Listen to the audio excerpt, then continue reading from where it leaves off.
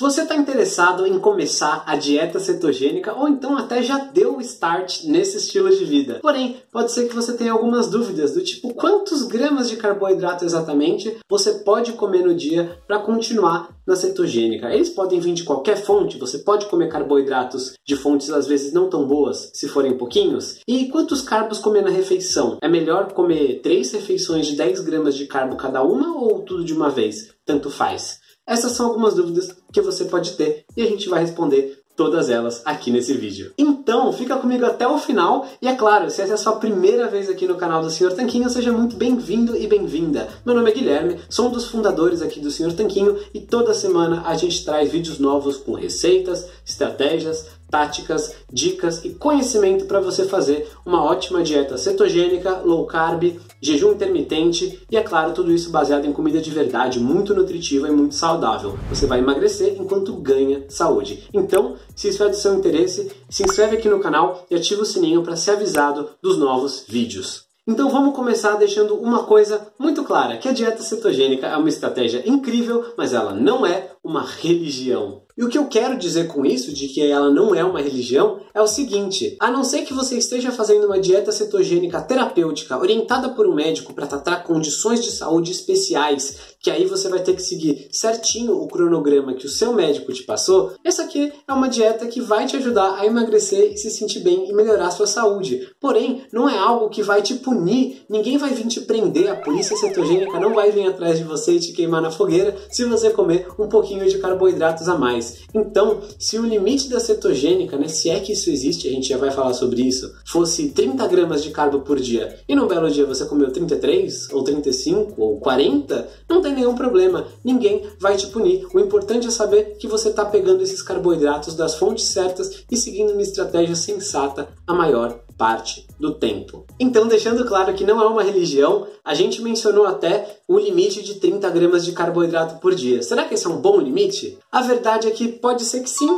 mas pode ser que não. Uhum. Por quê? Porque o limite de quantidade de carboidratos para você entrar e permanecer na cetose é uma quantidade muito individual, no sentido de que varia de pessoa para pessoa. Isso é, pode variar dependendo de diversos fatores, desde a sua genética até o seu nível de atividade física, até a sua tolerância ao carboidrato, né, sua sensibilidade à insulina e até mesmo dependendo do seu tamanho, né? Se você imaginar um homem de 1,90m e 100 kg, ele com certeza tolera mais carboidrato do que uma mulher de 1,5m e 50 kg. Provavelmente ele consegue comer mais carboidratos do que essa mulher do nosso exemplo sem sair da cetose. Assim como a gente falou, a atividade física, né? uma pessoa que é fisicamente muito ativa, ela consegue lidar melhor, provavelmente, com os carboidratos do que uma pessoa que tem um estilo de vida mais sedentário. Então tudo isso tem que ser levado em conta na hora de você entender que o limite de carboidratos da cetogênica é uma coisa individual. Não adianta colocar uma regra escrita na pedra para todas as pessoas, ah, vai ser 22,5 gramas de carboidratos. Isso não existe, não é realista e não corresponde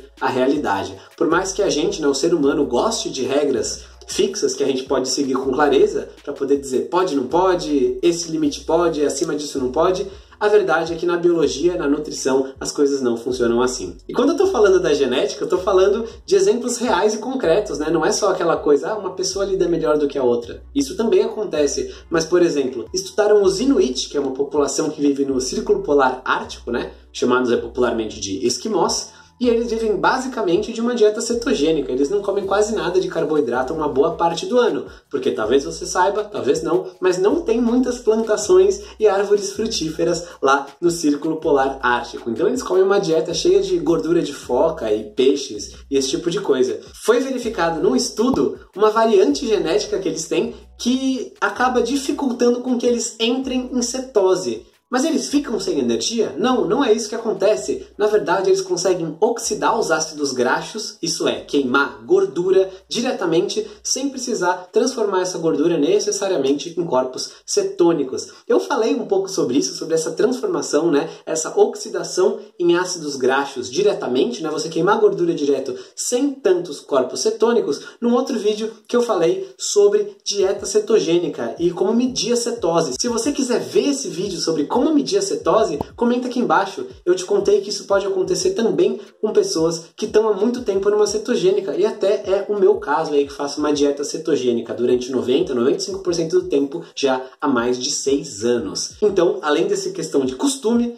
existe também essa questão genética. Um outro ponto que a gente mencionou foi a questão dos exercícios. Por quê? Porque os exercícios, ainda mais se forem intensos, podem depletar o seu glicogênio muscular, que é tipo uma reserva de carboidratos que existe aí entre as suas fibras musculares, e fazer com que quando você comer carboidratos, ele seja direcionado primariamente para repor esse glicogênio. Então, ele não vai ser usado da maneira tradicional que uma pessoa que é sedentária, que não faz nenhum exercício, acaba usando, e a sua tolerância ao carboidrato tende a ser maior. Então, quem se exercita de maneira muito vigorosa, muito intensa e com bastante frequência e volume, consegue comer mais carboidratos e ainda assim ficar em cetose. Isso é verificado, por exemplo, em ciclistas, aquelas pessoas que praticam o ciclismo de forma intensa e por períodos continuados de tempo. Essas pessoas conseguem comer vários e vários gramas de carboidrato e continuar em cetose. Na verdade, o médico canadense Dr. Peter Atia menciona isso na própria experiência pessoal dele no blog dele, porque ele tem essa paixão por ciclismo também. Ele gosta de andar por horas e horas de bicicleta numa potência elevada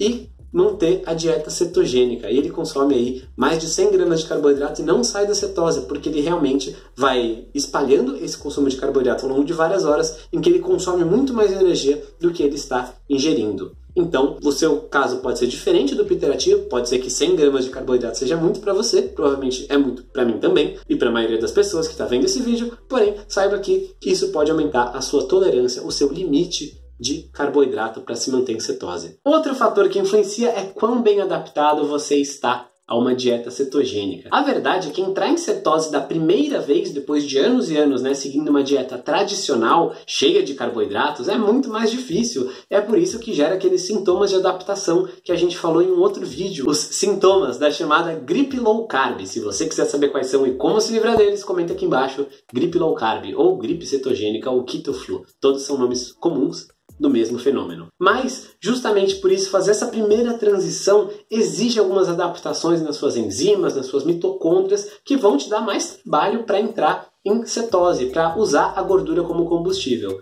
Agora, se você já vem de uma dieta cetogênica e sai da bola, né, dá uma escorregada, faz um dia livre, come alguma coisa rica em carboidratos, uma refeição que seja rica em carboidratos, é mais fácil voltar à cetose depois, porque o seu corpo já tem os mecanismos de adaptação para queimar gordura acontecendo. Então, você consegue sair e voltar da cetose com mais facilidade do que quem não está completamente adaptado. Até por esse motivo que a gente fala aqui, se você tiver mais adepto a queimar gordura, é mais fácil entrar em cetose, que a gente recomenda, se você for fazer jejum intermitente, especialmente um jejum intermitente mais intenso, um pouquinho mais prolongado, que você o associe com uma dieta low carb ou cetogênica. Se você quiser saber como que você faz jejum junto com a cetogênica para tirar o melhor das duas práticas, comenta aqui jejum cetogênica, que a gente tem um vídeo sobre isso e eu vou te mandar respondendo o seu comentário. Mas de maneira geral, o resumo da ópera é que se você está acostumado a queimar gordura, o seu corpo acha mais fácil voltar a queimar gordura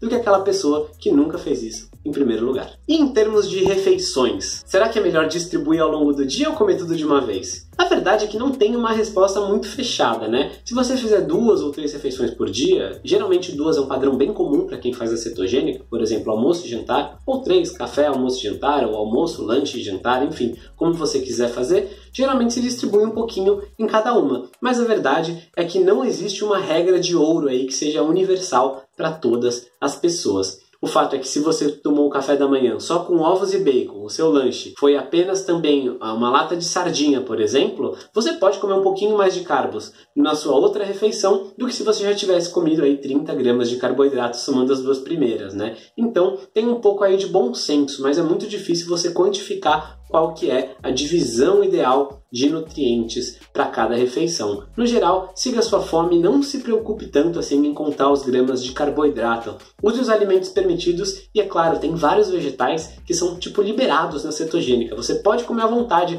porque você vai ficar muito cheio, muito satisfeito e saciado antes mesmo de atingir uma quantidade significativa de carboidratos. Se você quer saber quais são, comenta aqui embaixo. Vegetais liberados na cetogênica, que eu te mando esse vídeo também. Mais de 100 mil pessoas já viram e estão colocando em prática essas dicas. Então, se você está prestando atenção até agora, você entendeu que não existem regras escritas na pedra e nem um número mágico de carboidratos que vai ser útil para todas as pessoas. Sendo assim, por que contar, né? Por que, que a gente se apega um pouquinho nesse número? É que, na verdade, contar e estabelecer um limite superior ajuda muito quem está iniciando nessa dieta, porque as pessoas às vezes não têm muita noção do que, que é cetogênico, do que, que não é.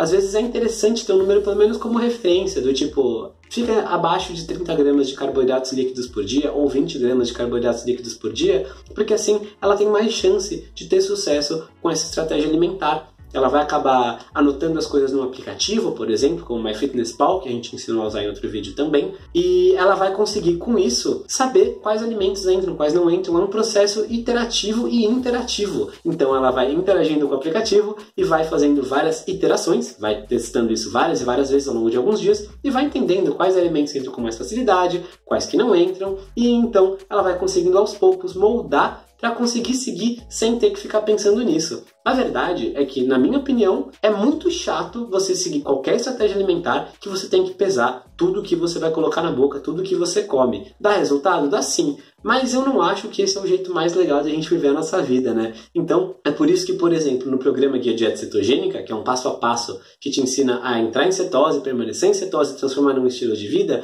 a gente te ensina a ter essa independência, para você não ter que ficar pesando e anotando coisa no aplicativo ou numa tabela de Excel, qualquer coisa assim, o resto da sua vida. Porque a ideia é transformar num estilo de vida, uma coisa que você faz quase que de maneira automática, que melhora a sua saúde, te ajuda a emagrecer, sem você ter que ficar pensando muito nisso. Você tem que pensar um pouquinho no começo, nos primeiros 30, 40 dias, e depois fica uma habilidade que você leva para a vida. É por isso que eu consigo seguir esse estilo de vida já há vários anos e um monte de leitores e clientes e alunos nossos também, porque não é uma coisa sofrida que ocupa a nossa mente. A gente tem muito mais o que fazer na vida, né, do que ficar contando gramas de carboidrato em todas as coisas. Então, se você quiser fazer parte desse programa e se juntar a centenas de alunos que já têm muito sucesso nesse estilo de vida, clica aqui no link da descrição, porque lá tem a apresentação do programa, você vai entender o que, que você vai ganhar, a gente preparou vários bônus para você e vai ser um prazer ajudar na sua transformação. Por fim, sinto que faltou responder uma pergunta que a gente sempre recebe de muita gente que está iniciando, né? Que é aquela pergunta assim: eu posso comer então bolacha ou arroz